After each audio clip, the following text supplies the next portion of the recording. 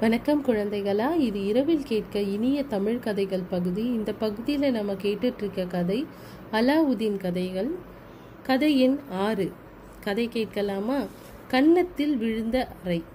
அலாவுதீன் நாம் சேர வேண்டிய இடத்தை அடைந்து விட்டோம். நீ இங்கேயே ஓய்வு எடுத்துக்கொள். உலகத்திலேயே மிக அழகான பூந்தோட்டத்தை நீ காணப் போகிறாய் மகிழ்ச்சியில் துள்ளப் போகிறாய். மேலும் அதிசயங்கள் பலவற்றை காணப்போகிறாய்.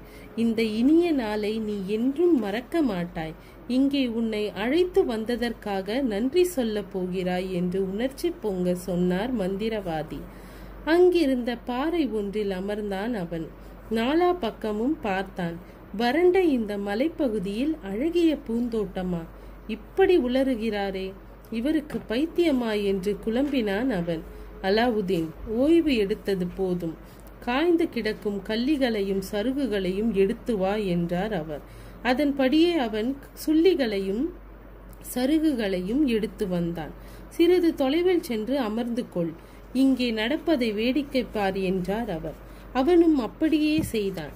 கல்லிகளையும் சருகுகளையும் சுள்ளிகளையும் ஒரே இடத்தில் குவித்தான். அவற்றிற்கு தீ மூட்டினார். நீ தீ நன்றாக கொழுந்துவிட்டு எரிய தொடங்கியது. அதிலிருந்து சுள்ளிகள் ஓசையுடன் வெடித்தன தன்னுடைய இடுப்பு பட்டையில் இருந்து சிறிய பெட்டி ஒன்றை எடுத்தார் அவர். அது ஆமை ஓட்டின் வடிவத்தில் இருந்தது. அதை திறந்த அவர் அதிலிருந்து சிட்டிகை அளவு பொடியை எடுத்தார்.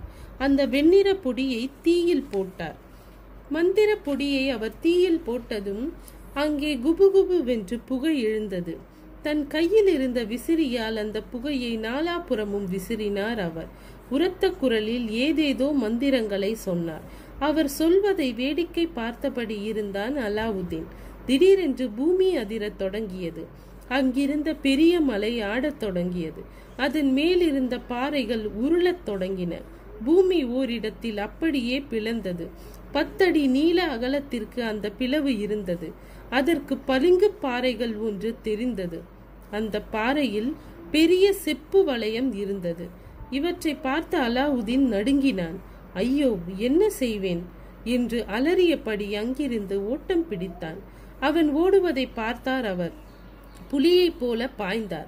ஒரு நொடிக்குள் அவனை பிடித்து நிறுத்தினார். அவன் கன்னத்தில் ஓங்கி ஒரு அறை வைத்தார். வலிமையான அந்த அறையை தாங்க முடியவில்லை. அவன் மயங்கி விழுந்தான். மந்திரவாதியின் ஐந்து விரல்களும் அவன் கன்னத்தில் நன்கு பதிந்தன. இப்படி அச்சுறுத்தி வைத்தால்தான் இவன் தம் கட்டுப்பாட்டில் இருப்பான் என நினைத்தது நினைத்து அந்த போலி மந்திரவாதி போலி பெரியப்பா அறைகளை தொடர்ந்தார். இவன் உதவி இல்லாமல் தம் எண்ணத்தை நிறைவேற முடியாது. இவ்வளவு எவ்வளவு பாடுபட்டாலும் இவன் உதவி நமக்கு தேவைப்படும் என்று மந்திரவாதி நினைத்து கொண்டே இருந்தார். இவனிடம் அன்பாக இருப்பது போல நடிக்க வேண்டும் என்ற முடிவுக்கு வந்தார்.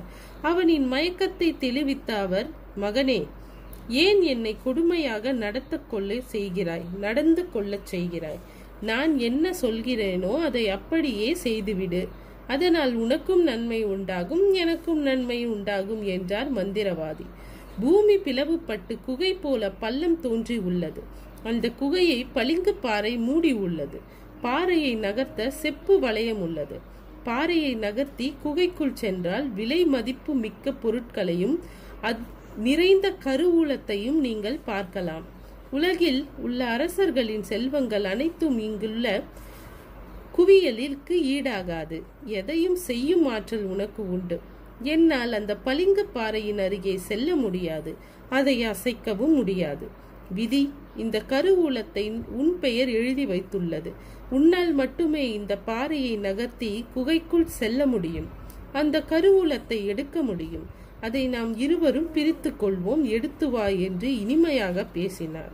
கன்னத்தில் வாங்கிய அறைகளை மறந்தான் அலாவுதீன். நீங்கள் என்ன சொல்கிறீர்கள்? அப்படியே நடந்து கொள்கிறேன். அறைய மட்டும் செய்யாதீர்கள் என்றான். சிரித்தான் மந்திரவாதி. மகனே அலாவுதீன் என் உயிரின் மேலானவன் நீ. உன்னை தவிர எனக்கு யார் இருக்கிறார்கள்? உன் நன்மைக்காகத்தான் உன்னை இங்கு அழைத்து வந்தேன். நீ ஓடிவிடக் கூடாது என்பதற்காகத்தான் கடுமையாக நடந்தேன். பெரியப்பா என்னை அடிக்க உங்களுக்கு உரிமை இருக்கு. வருத்தப்படவும் எனக்கு உரிமை இருக்கு. ஆனால் இப்பொழுது நான் என்ன செய்ய வேண்டும்?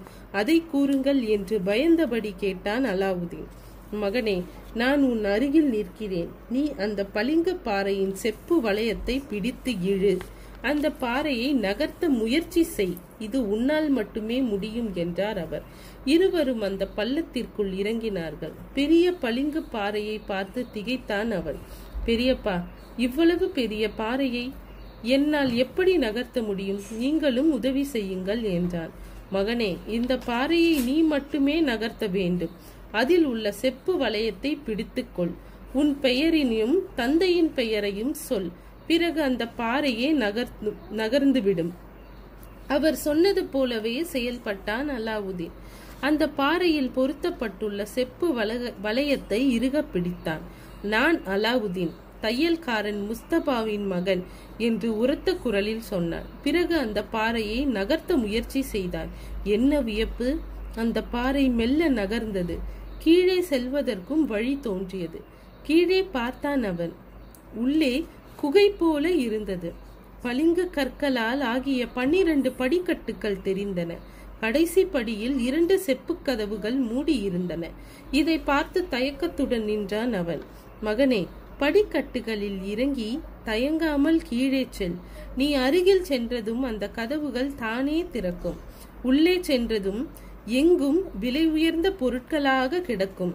நீ அதிசயத்திலும் அதிர்ச்சியிலும் உறைந்து போவாய் என்றார். முதல் அறையில் பெரிய பித்தளை சாடிகள் நான்கு இருக்கும். அவற்றில் புன்கட்டிகள் நிறைந்து இருக்கும். அடுத்த அறையில் நான்கு சாடிகள் இருக்கும். அவற்றில் பொற்காசுகள் நிறைந்து இருக்கும். மூன்றாவது அறையில் உள்ள சாடியில் தங்கப்பொடி இருக்கும். அங்குள்ள எந்த சாடிகளிலும் உன் கை படக்கூடாது. பட்டால் நீ கல்லாகி விடுவாய். அந்த மூன்றாவது அறையையும் கடந்த பிறகு அழகான பூந்தோட்டம் இருக்கும்.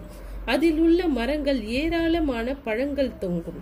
அங்கு நிற்காமல் நடந்தால் முப்பது படிக்கட்டுகளை உடைய அழகான குழு மண்டபம் இருக்கும். படிக்கட்டுகளில் ஏறி குழு மண்டபத்தை அடைந்துவிடு. அங்கே எரிந்தபடி ஒரு விளக்கு தொங்கிக் கொண்டிருக்கும். அருகில் ஏணி ஒன்று இருக்கும். அதில் நீ ஏறு. எரிந்து கொண்டிருக்கும் அந்த விளக்கை அணை. பிறகு விளக்கை கவிழ்த்து அதில் உள்ள எண்ணெயை கொட்டு. அந்த விளக்கை எடுத்து உன் இடுப்பு பட்டைக்குள் வைத்துக்கொள். பிறகு எந்த கவலையும் உனக்கு வேண்டாம். வந்த வழியே திரும்பு. வழியில் உள்ள மரங்களில் நீ பழங்களை பறிக்கலாம். அந்த சாடிகளில் உள்ளதை எடுக்கலாம். எது வேண்டுமானாலும் செய்யலாம். உனக்கு எந்த ஆபத்தும் வராது. அந்த விளக்குடன் நீ இங்கு வந்துவிடு. அது போதும். ஏராளமான செல்வத்துடன் நீ வளல பலமாக வாழலாம் என்றார் அவர். தன் கையில் இருந்த மோதிரம் ஒன்றை கழட்டினார் அந்த மந்திரவாதி அதை அலாவுதீனின் விரலில் அணிவித்தார். இந்த மோதிரம் உனக்கு பாதுகாப்பாக இருக்கும். உன்னை ஆபத்திலிருந்து காப்பாற்றும். துணிவுடனும் வீரத்துடனும் நடந்து கொள். தைரியமாக செல் என்று தைரியத்தை அவன் மீது மொத்தமாக செலுத்தி அனுப்பி வைத்தார் மந்திரவாதி. அந்த விளக்கை கவனமாக எடுத்து வா.